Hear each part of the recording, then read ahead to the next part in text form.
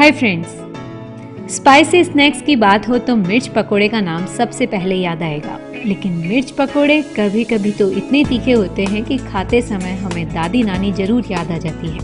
लेकिन हम क्यों अपने टेस्ट से समझौता करें? अगर मिर्च पकोड़े का तीखापन थोड़ा सा कम करके हम बनाएँ तो इसका मज़ा ही कुछ और आएगा।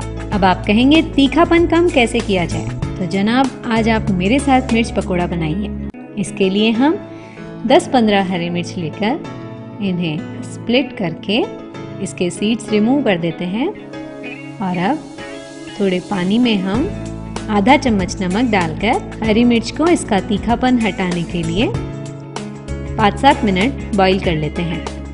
फ्रेंड्स अब हम बेसन का घोल और मिर्च की स्टफिंग के लिए आलू का मसाला तैयार कर लेंगे। मैं आपको बता दूँ, ये दोनों चीज़ें हमने जैसे ब्रेड पकोड़े के लिए बनाई थी, वही सेम मेथड है। तो बेसन के घोल के लिए एक बोल में हम एक कटोरी बेसन, इसमें आधा चम्मच नमक, चौथाई चम्मच मिर्च पाउडर, चौथाई चम्मच सौंफ, एक चुटकी हींग और एक चुटकी मीठा सोडा। डालकर धीरे धीरे पानी डालते हुए एक डायरेक्शन में घुमाते हुए हम इसका घोल तैयार कर लेते हैं और इसे कुछ देर के लिए बीट करते हैं। बीटिंग हमेशा एक ही डायरेक्शन में होनी चाहिए। ये हमारा बैटर तैयार हो गया है।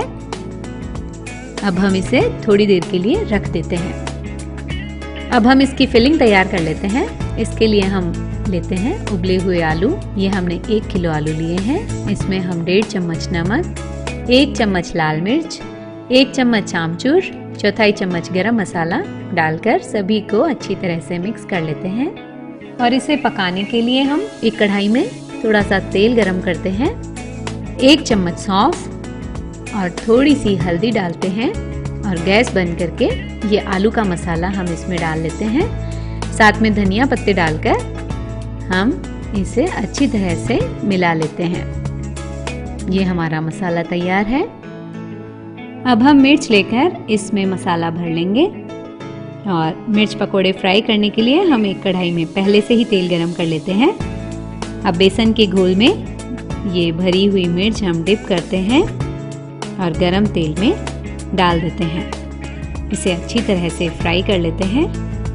और ये हमारा स्वादिष्ट मिर्च का पकोड़ा तैयार हो गया है। इसे आप इमली की चटनी या धनिया की चटनी के साथ सर्व करिए। अगर आपको मेरी रेसिपीज़ पसंद आती है तो सब्सक्राइब करें, जिससे जब भी मैं नई रेसिपी डालूँगी तो वो आपके मेल पर आ जाएगी।